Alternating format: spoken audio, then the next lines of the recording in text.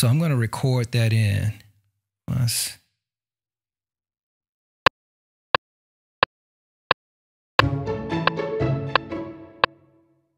Now, you notice that the arpeggiation sounds like it's out of time with the click. That's because it is. So here's something that I wanted to bring your attention to. Because the instruments are in Logic and they are arpeggiated instruments, then this is the reason I chose arpeggiated instruments. Because they are arpeggiated instruments, they're following Logic's tempo. And right now, Logic is just a sound module that is not receiving any tempo information from the MPC one or from the MPC software. So what I need to do is set the tempo in Logic to be the same tempo as the tempo in the MPC software. So I'm going to double click the tempo in Logic and set it to 88 beats per minute. I'm actually going to change my LCD display to the custom display so I can get a little bit more information here. Now I'll go back over into my MPC software and let's try that again.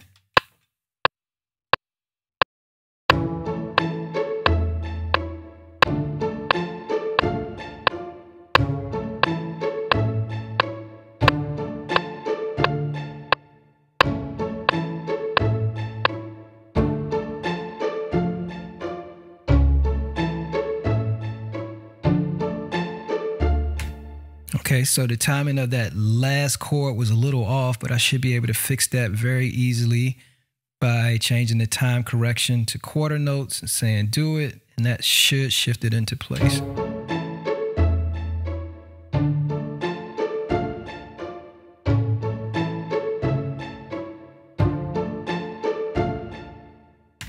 And I'm to shorten this last part. I didn't want it to go all the way over there.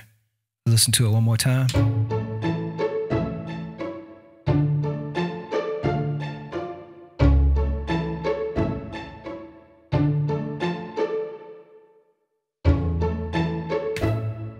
Okay, cool. Now let's go to the other string track.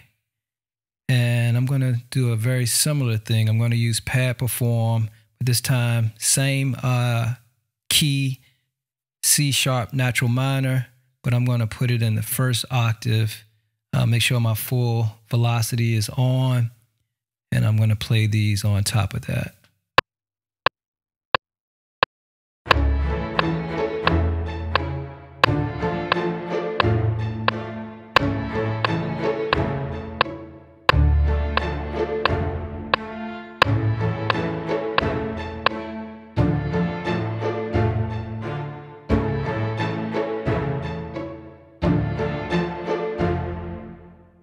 Okay.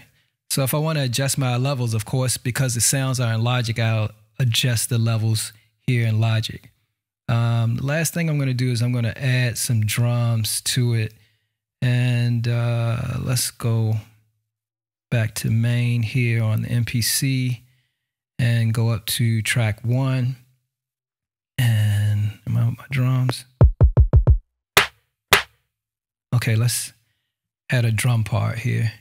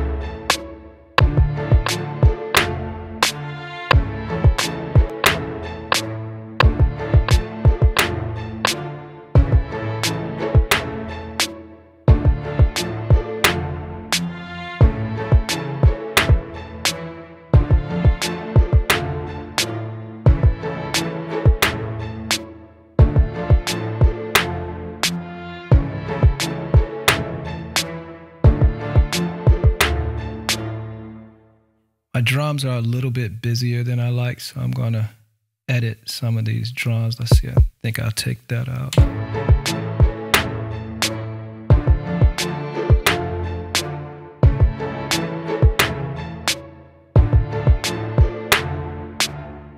That's cool for this demonstration. I'm to also add some hi-hats to that. To take full velocity off. Let's add some hats. Use my note repeat.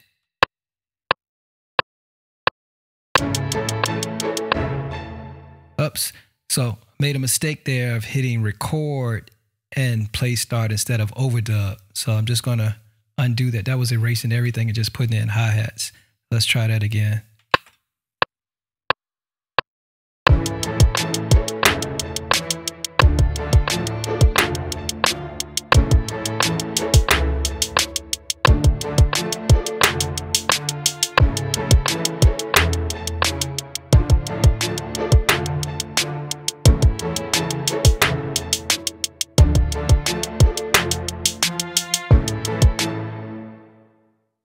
Okay. And so if I wanted to go back over here into Logic, I could uh, open up this particular drum that I use is what's called a track stack. So if I click this disclosure triangle, I can see all of the individual parts of that particular drum kit and I have separate control of each part. For instance, my hi-hat here is a little louder than I want it to be, so I'm going to bring it down some and pan it a little bit harder here.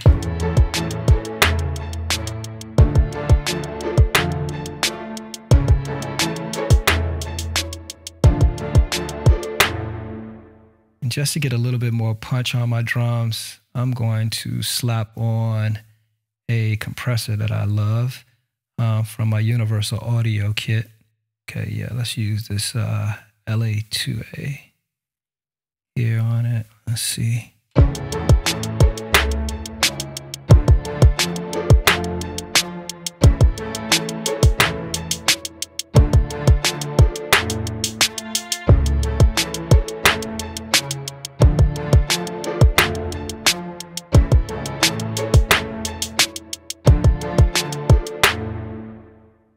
So just like that, I've set up the MPC to control Logic as a sound module.